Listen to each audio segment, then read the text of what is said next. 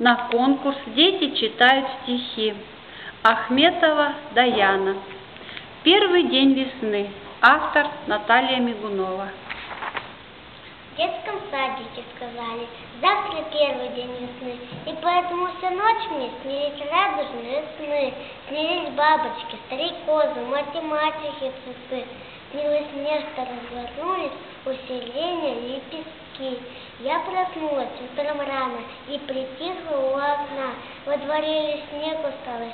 Мама, где моя весна? Вдруг она в лесу дремучем заблудилась без дорог. Неужели смело проводить ее не мог? Мама нежно улыбнулась и заблудится весна. Пусть немного с опозданием все равно придет она.